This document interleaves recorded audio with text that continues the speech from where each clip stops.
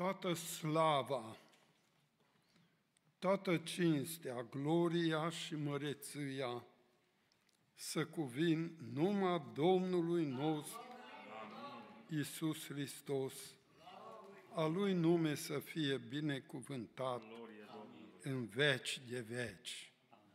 Scumpi frați în Domnul Iisus, cu harul și cu ajutorul lui Dumnezeu, suntem din nou aproape de încheierea unui an. Cândva ne-am uitat la el ca la o mâine în care să ne facem planuri, în care să ne gândim ce va veni, ce va fi. Astăzi ne uităm la el ca la un ieri care a trecut aproape și câte din cele visate de noi au rămas neîmplinite, dar ce trebuie să împlinim și ieri, și azi, și mâine, e voia lui Dumnezeu. Glorie Domnului! Îndemnarea fratelui păstor pentru mine a fost să vorbesc despre familie, o îndemnare de familie, ca apoi să ne rugăm pentru familie. Dar familia nu-i familie dacă nu-i o femeie. Acolo unde este femeie, acolo este familie. Și acolo unde este femeie, dacă slujește cu adevărat lui Dumnezeu, ochii lui Dumnezeu îs peste ea, peste casa ei. Dumnezeu a făcut pe om să aibă cu cine vorbi, cu cine discuta, cu cine și împărți părerile, ideile. În fiecare revărsat de zori, în fiecare dimineață, venea și vorbea cu Adam. Dar l-a văzut că e tare singuratic. Și atunci i-a făcut femeie. Și astfel a adus-o la om și omul, prin Duhul de descoperire a unei minți limpede, curate, care o avea Adam, a știut cine e aia. Iată, în sfârșit, a zis el, os din osele mele, carne din carnea mea, fiindcă a luat una din coaste și a făcut o clonare. Mărească-i să numele lui Dumnezeu. Și apoi i-a pus numele Eva. Cu un alt cuvânt, mama multora. Și din ea s-a răspândit pe tot pământul oamenii. Dar ce interesant că Dumnezeu în femeie a pus sămânța care să dea naștere bărbatului și în bărbat sămânța care să dea naștere femeii. Și așa Pavel Apostol în Corinteni 11 spune că și bărbatul este din femeie și femeia este, adică femeia este din bărbat și bărbatul prin femeie și toate sunt de la Dumnezeu. Dar ce interesant! Istoria biblică peste tot aduce omagii oarecum femeii. În felul acesta ne stau în față femei bune, ne stau în față femei rele care au devenit bune. Și în toate cazurile astea, Dumnezeu a arătat multă binecuvântare prin femeie. Aici cuvântul citit în seara aceasta, primul verset, ne spune așa de minunat, Dumnezeu să aibă milă de noi și să ne binecuvinteze, să facă să lumineze peste noi fața Lui. Aceasta este de altfel o frântură luată din numeri 6, în care exact așa scrie și acolo, să facă să lumineze fața Lui peste noi. Dar fața Lui peste noi luminează atunci când în familie femeia îi cu totul dedicată lui Dumnezeu. Auziți ce cânta Maria în Luca, evanghelistul scrie despre aceasta și cântarea Mariei începe în capitolul 1 al lui Luca, dar eu voi citi de la 43. Cum a fost dat mie să vină la mine Maica Domnului meu, a zis mătușa Mariei Elisabeta. Fiindcă, iată, cum ne-a ajuns la urechi glasul urării tale, mi-a săltat pruncul în pântece de bucurie. Ferice de aceea care a crezut, pentru că lucrurile care i-au fost spuse din partea Domnului se vor împlini. Și Maria a zis, a început și ea să cânte, Sufletul meu mărește pe Domnul și mi se bucură Duhul Dumnezeu Mântuitorul meu, pentru că a privit pe starea smerită a robei sale, și iată că de acum încolo toate neamurile îmi vor zice fericită, mă vor numi fericită, pentru că cel atotputernic a făcut lucruri mari pentru mine, numele Lui este Sfânt. Și îndurarea Lui se întinde din neam în neam peste cei ce se tem de El. Și acum auziți, El a arătat putere cu brațul Lui, a risipit gândurile pe care le aveau cei mândri în inima lor, a răsturnat pe cei puternici de pe scaunile lor de domnie și a înălțat pe cei smeriți. Pe cei flămânzi a săturat și pe bogați a scos afară cu mâinile goale. Ce minunăție! Starea unei femei zmerite aduce peste casă binecuvântarea. Starea unei femei mândre aduce în casă discuții, ceartă și lucruri slabe.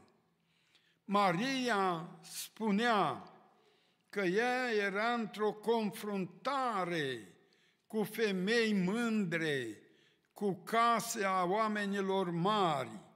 Istoricii povestesc că pe vremea aceea cei mai mari chiaburi, oameni cu averi, a lui Israel, fiecare vroia ca în casa lui să vină Mesia, că ei au citit în Mica, au citit peste tot, dar ei credeau acum că la ei trebuie să vină și așa că unii chiar din Betleem și-au ținut fetele închise în conacul lor, să nu iasă afară, să fie curate și la ei să vină. Dar Maria cântă în cântare, a risipit gândurile celor mândri și a privit spre starea smerită a robei sale. Deci, Dacă mândria locuiește undeva, Dumnezeu nu privește cu plăcere acolo, cum zicea un poet de cântare, cu cei mândri și îngânfați el nu umblă, ci de la sine îi alungă. Dar dacă îi smerită femeia, coboară Domnul în casa aia, mărească să numele Domnului. Să umblăm în smerenie nu numai băr- ă, femeile, ci și bărbații, și fetele, și băieții, și copiii, toți suntem chemați să umblăm în smerenie. Ați văzut acum să faci să, lumin, să facă să lumineze fața lui peste noi. Dar cum dacă nu stai în smerenie? Trebuie neapărat să stăm în smerenie. Familia unde este smerenie, acolo nu-i vorbă de certuri. Familia unde este smerenie, acolo este înțelegere bună. Familia în care este smerenie și femeia smerită aduce har în casă și binecuvântări ea se supune voii lui Dumnezeu, ea ajunge mamă și să bucură în mijlocul copiilor ei, ne spune salmistul 128. Dragul meu, nu uitați, în seara aceasta, în scurtul meu cuvânt pe care îl am, fac un apel în mod special mamelor, femeilor, surorilor noastre, căutați smerenia, nu căutați împodobirile, nu căutați făloșeniile lumii, nu căutați mândrețurile, ci în smerenie, umblând pe calea pocăinței, veți avea mult har și multă binecuvântare. Poate că deprisos, dar am îndemnul ăsta să vă spun.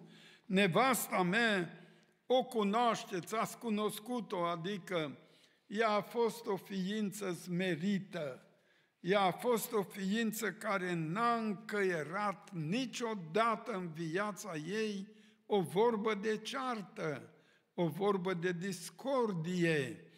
Ea totdeauna și-a spus clar părerea și gata.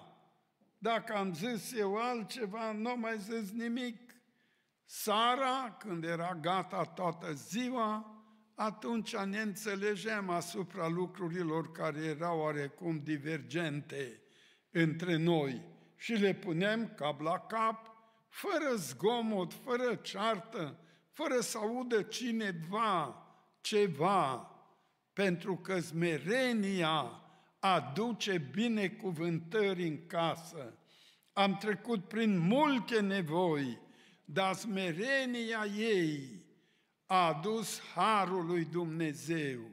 Și cum vedeți până azi, toți cei opt copii slujesc Domnului, unde femeia îi smerită și își învață copiii smerenia, să știe să tacă, să știe să răbde, să știe să nu răspundă obraznic, să știe să vorbească cu oricine, cu mult respect.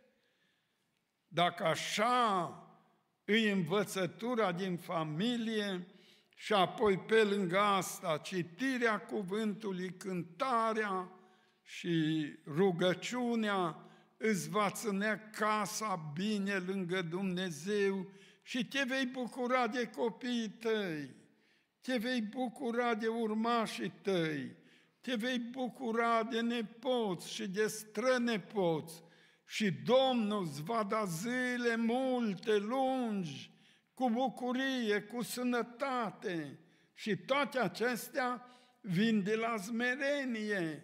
Dar cel mai mult într-o familie smerenia se vede plantată în femeie. De la ea pleacă învățătura copiilor să trăiască în smerenie, să nu se certe, să nu se bată, să știe să lesă unul după altul. Mi-aduc aminte când era copii mai mici, mai ales gemeni, Amos cu Ezechiel, apoi Amos să uita la frate său, la Ezechiel, și dacă Ezechiel avea ceva și mama sa zice, dă și la Amos. El imediat zice, nu mamă, nu, lasă să nu se supere, lasă să nu se supere. Era mic, dar știa unul de celălalt să nu se supere între ei. Tot așa cresc și copiii matale. Ai grijă. Avem copii prin harul Domnului și aceasta e o mare binecuvântare. Ați văzut și la sărbătoarea asta, când copiii au venit pe rând aici, ce minunăție, măi! Să vezi un popor întreg răsare deodată.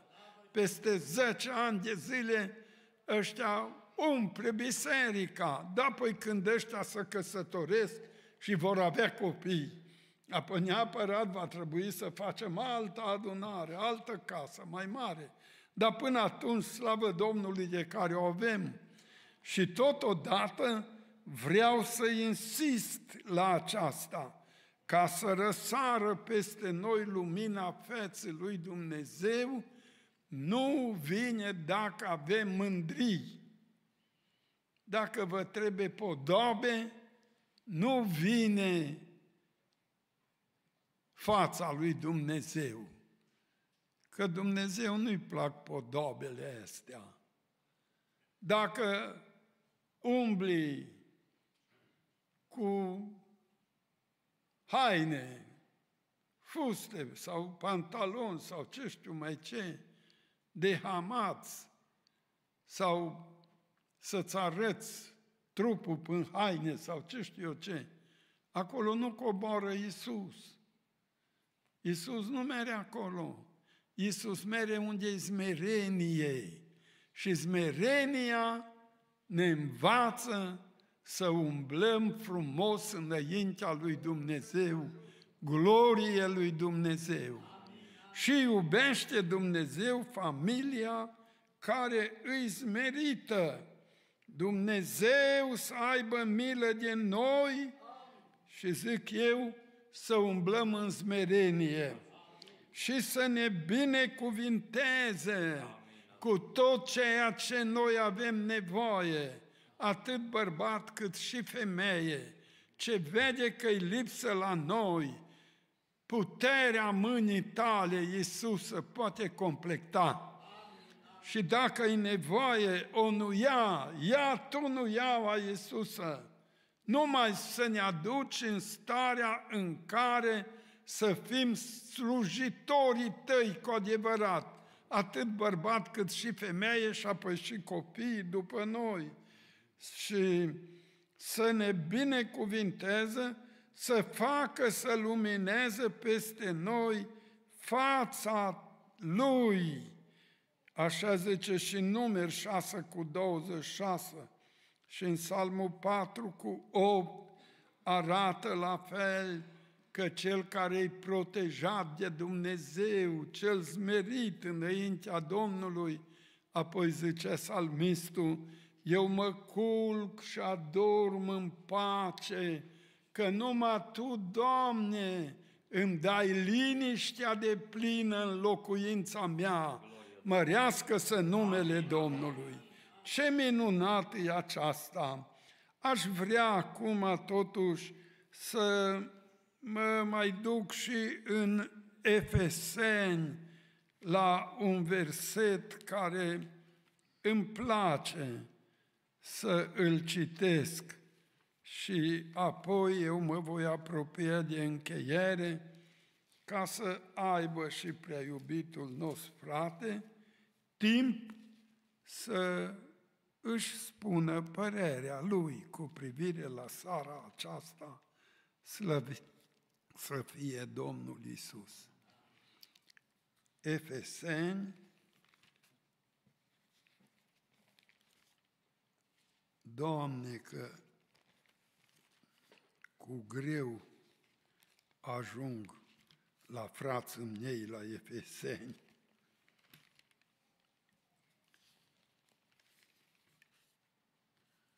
Dar oricum, așa, cuvântul Domnului de aici ne spune în 3 cu 12, în El avem, prin credință în El, slobozenia și apropierea de Dumnezeu cu încredere mărească să numele Domnului. Numai dacă cu încredere ne apropiem de Dumnezeu, atunci Dumnezeu Preasfântul ne binecuvintează și vom fi și noi plini de putere și de încredere în Dumnezeul nostru, dacă trăim în smerenie, măriți să fie Domnul. De aceea, cuvântul tot din Efesen ne mai spune, versetul 15, care e foarte interesant, Luați seama, deci să umblați cu băgare de seamă, nu ca niște neînțelepți, ci ca niște înțelepți. Răscumpărați vremea, că zilele sunt rele. Vedeți bine ce sunt zilele noastre, cum sunt zilele noastre și fiindcă trăim astfel de zile, ca Dumnezeu să ne lumineze, să strălucească fața Lui peste noi, avem nevoie de smerenie în primul rând și apoi să răscumpărăm vremea. O trecut anul ăsta, aproape, aproape, nu-l mai avem. Dar dacă ne uităm în urmă, ai ridicat tu pe cineva din starea de cădere? ai ajutat tu pe un orfan, pe o văduvă, pe un văduv, mai ales cei care sunt și infirmi și să nimănui. Ai ajutat tu acolo. Pe vremuri când a început Sfânta Pocăință, apoi primul lucru care îl făcea surorile, frață, pe vremea aceea, era să se intereseze de oamenii netrăbuiți, de oamenii pe care nu dădea nimeni nimic pe el. Mi-aduc aminte chiar socră mea și cu nepoată de-a ei, amândouă s-au pocăit, dar înainte vreme era circul satului, făceau toate minunile, mai ales la sărbători. Ei făcea pe toți să râdă. Dar când s-a pocăit, primul lucru, era în sat acolo pe o vale, un văduv bătrân mai neputincios și l-a umplut păduchii. Și atâta păduche era că spunea și pe jos, vedeai umblând păduche, nu numai pe el. Îl mânca păduchii de viu. Și ele s-au dus acolo cu ce au avut ele, cu leșie, cum era atunci, că nu avea ce avem noi azi, detergent și câte toate. Făcu leșie din cenușe, din cenușe de coceni, de cucuruz s-a dus la el, l-a dezbrăcat gol, l-a tuns, l-a spălat, l-a făcut în tot chipul și într-o sticlă a băgat de petrol, a băgat un pumn de sare și a tot scuturat-o până s-a dizolvat sarea și atunci l-a făcut pe unde a avut păr tot bine după ce l-a tuns, l-a făcut cu petrolul ăla și petrolul ăla a omorât toți, toate ouăle de păduchi. Și nu mai a avut omul păduchi pe el și o cumpăra hăinuțe, l-a îmbrăcat, o curăța casa. Tot satul s-a mirat. Uite mă ce-au făcut pocăitele. Dar ce rezultat a fost? Prima conceput să se pocăiască câteva femei, la urmă băieților s-au pocăit și doi din ei au ajuns să fie numiți în sat, um, cum numai, gemenii credinței. Era Stănuș Ilie și Vasile Zămora. Și ei o început de tinerei să predice și până azi e biserică în Sebeșel. Măriți să fie Domnul! Dragii mei, smerenia noastră și aplecarea la nenorociți aduce har și căsile noastre vor înflori și copiii noștri vor învăța de la noi ce înseamnă pocăința, în smerenie să fie o mână de ajutor, sau mai bine zis, extensia mâinii lui Dumnezeu pentru cel nevoiaș. Amin.